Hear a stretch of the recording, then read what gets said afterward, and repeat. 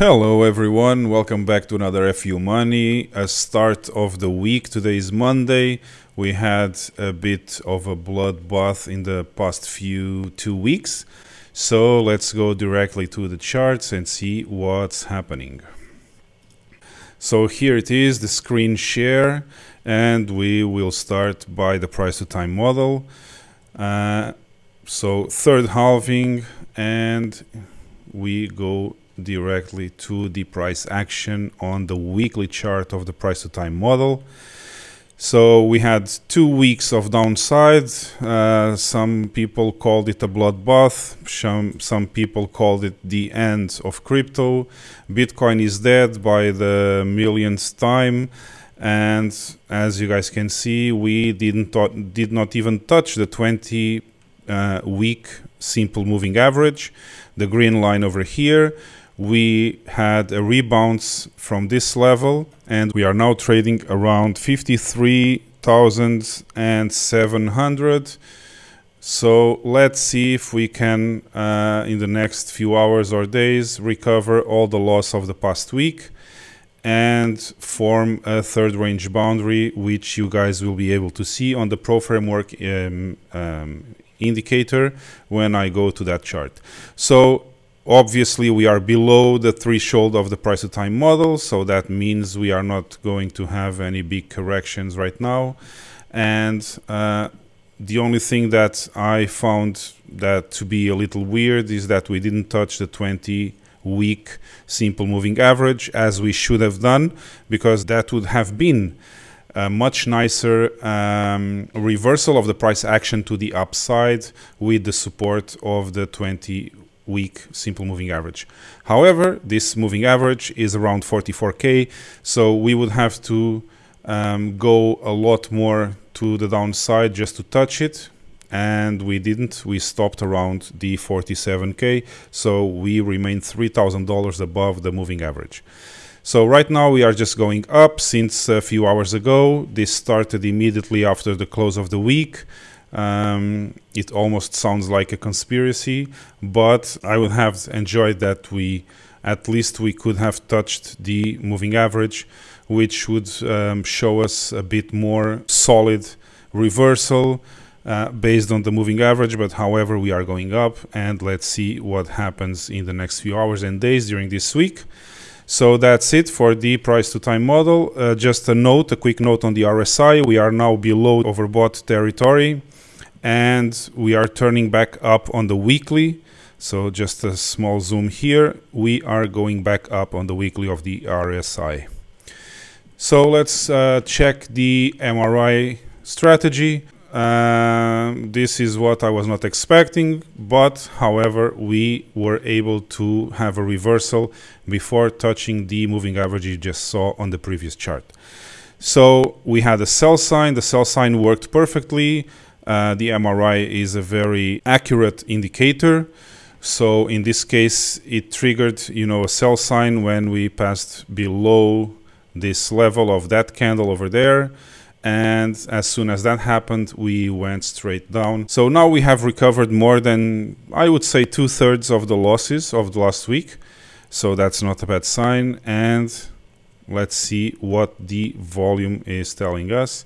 So we are still on the weekly basis, we are still going back down on volume, but we see I see some signs from the last two weeks that the volume could start to stabilize and probably go sideways instead of just continue to go down and having this bearish divergence that we have been having for the last weeks. However, the last uh, two weeks, to be more precise, and the current week, which is still developing, are going up and the price was coming down. So possibly if we continue to see this trend for the next few weeks, we could start developing a bullish divergence, which would be a very good uh, after a retracement like what we had.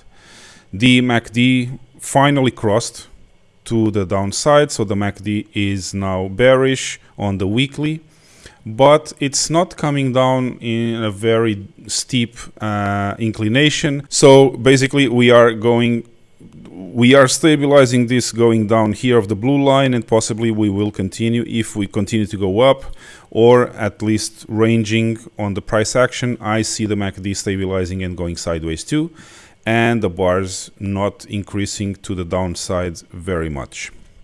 The Fisher distance from the EMA is a bit distant from the neutral point. So let's uh, quickly go to the daily. So the daily looks very good in terms of what the 100 period moving average was able to do. It supported the price here. We have an MRI on the daily, an MRI bottom. Again, the accuracy of the MRI was very, very good in this case. So we had a 1 to 9 uh, reversal of the price action up there when we went above 60,000. On the ninth candle, we had an MRI uh, on the daily an MRI bottom, number one, green indication to buy, and precisely after that candle, as soon as the weekly closed, we started to go up.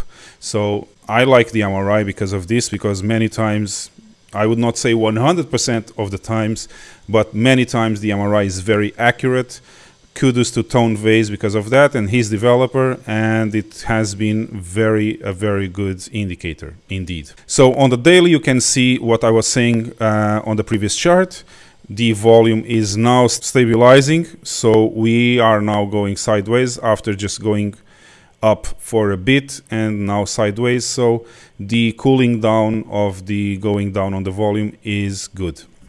The RSI almost almost went to oversold territory almost touched the line there but it turned back up again. This is what we missed. This is what i was saying about touching the 20 uh, week simple moving average. If we did that if we went down another $3000 probably we would have been in oversold territory which would have been much better for the reversal of the price action in a, in a cleaner way. But however, we almost went there and that's also not bad.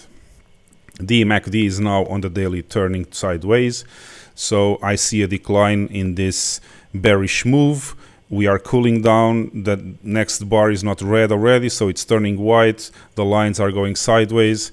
So in this case, I believe the phase of going down is over for now. And Let's now go to the four hour chart. So the BitMEX funding rate continues to be negative, which is very, very good for the bulls. Um, people are trying to bet on, um, on a reversal of the price immediately and they are going short on Bitcoin, which is very stupid, in my opinion. When you have a bull market, you should never short an asset like this unless you know what you're doing and you are a very experienced trader. But, however, people are shorting a lot. You see the zero line, the neutral line is here. I can even zoom in a bit. So this is where the hand is, is the zero line and the last five bars are going to the downside on the negative territory. And three of them even, even, even crossed my threshold of 0 0.06 uh, to the downside, which is incredibly bullish for the market sentiment. I like that configuration of BitMEX funding rate being negative. That's also helping the price action to go to the upside. With a small retracement that just started right now. So this is 15 minutes ago. Uh, this is the four hours. So we 15 minutes ago we just started a small retracement retracement to test again the. Uh, so this is the 50 period, the 50 period moving average on the four hour. So I believe that we are going to hold the price uh, here. We could have a bit of retracement, but continue to the upside, and I will show you the Pro framework right now. So just a quick look at the one hour just to check the BitMEX funding rate. Yep, it continues to go down on negative. So for the last few hours, we had a lot of negative BitMEX funding rate. As you know already, when you have negative uh, funding rate, it's a very um, it's, it's, it's a very good structure for the bullish scenario of the price action. When you have a lot of positive funding rate, it's good for the bearish scenario of the price action. So let's go back to the chart. So the one hour looks that it's we had an MRI top on the one hour. However, the next candle did not respect the MRI in this case and continued to go up to find support on the 200 period uh, moving average of the one hour chart and we are now seeing a bit of a cool down in this big move to the upside. So let's see if we continue to find support on the 200 period or not. And you guys know already that on the daily you have a 1 of 9 green. So that's a very good indication that this might continue. After a small retracement we might continue to go up so let's go now to the pro indicators framework and we can start with the daily. I will continue to have my box around here because I believe that the storm is not completely over. So it's possible that we have this retracement up, but we could still, a small probability uh, of going back down and retest the second range boundary level at around 47,000. Uh, by the way, the second range boundary that I had before was invalidated, so we now have a new one around 47, 47 exactly, let me see, yeah, 47,000. And I will leave the box there because there's still a small probability, uh, probably in the one digit percentage that we could still go down to retest again around the 44k, 43k. Uh, so I will leave the box there and see what happens next. However, in the daily on the Pro frameworks, I see the sine wave and momentum are okay. I have a bullish sign down here, price okay too. So the biggest probability right now is that we continue to go up at least to retest the third range boundary breakout line that we had previously.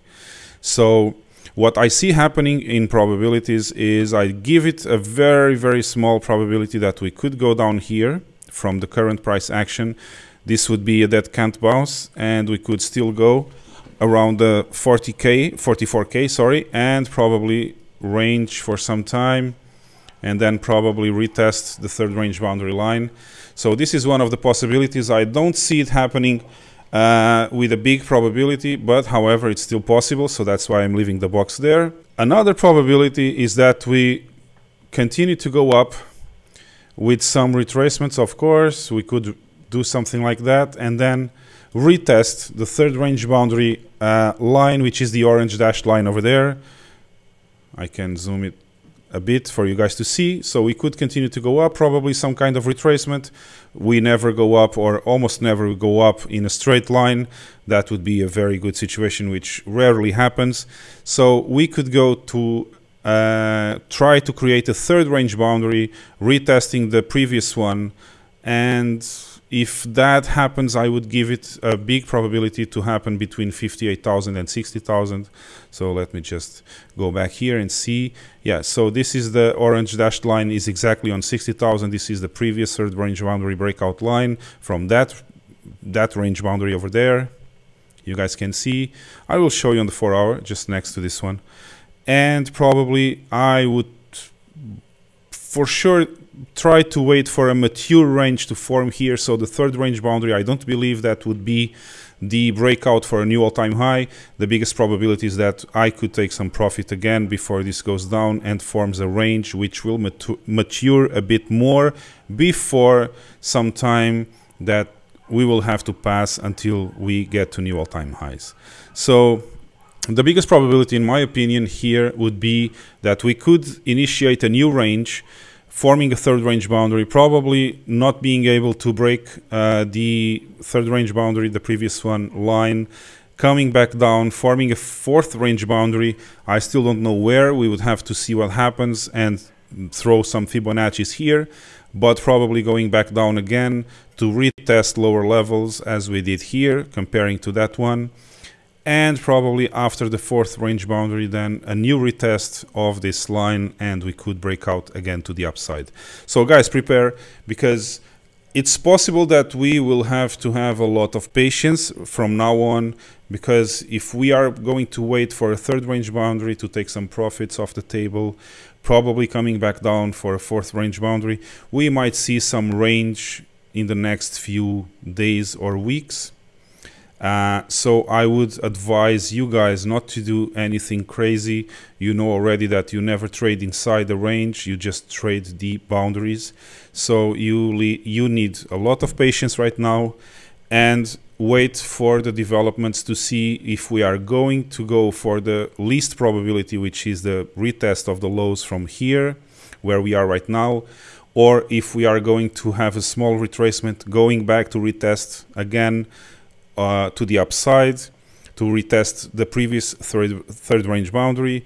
Let's see what happens if we go there. 58,000, 60,000 would be my guess for the new third range boundary. Uh, and then if we are able to break out from that line, that's good for everyone. You can you can trend follow. Uh, but the biggest probability for me right now is that we could go there, the, the retest of the line could fail, and we could come back down. So take profit here is not a bad option in that case. Wait for the range to be mature, wait for the fourth range boundary, and possibly new lows to retest the 44k and then this would be a great opportunity to go long again. And that's what you need. You need patience for this to develop so you need to understand what the market is going to do. So let's take a look on the four hour let's zoom in a bit. So you guys can see that the third range boundary you had previously was around 60k uh, this is the price action currently. We are going to start having um, some some resistance around this level. You guys know that this is a very this was support previously. Now it's resistance. So we are already having a small retracement. Uh, the sec the new second range boundary is here. Previously it was there. But as this yesterday went a bit more to the downside than that level, we formed a new second range boundary and now the possibility is that we could go up see some resistance here and then try to retest the third range boundary we had previously. So i'm just repeating myself but you can you guys can see better on the four hour chart. So if we go there and we retest that line and we are rejected probably some take profit here and wait for the, the range to be mature and probably go long again on a fourth range boundary down here on these levels. So let's see what happens uh, this is not a time to go crazy. This is a time for patience. Uh, so I would uh, advise everyone to wait. If you did not go long here, you are now in the dump zone, as you guys know already. In between the, the boundaries, uh, all that area is the dump zone. You never know where the market is going to go. So just wait, be patient. Let's see how this develops. If we continue to go up, if we retrace back down, Let's see what happens. I just increased the box because it's possible that we go for the third, third range boundary and then come back down for the fourth one. Let's see what happens. Let's uh, let's wait for this range to develop and I will of course come here every day to tell you guys what's happening in the markets.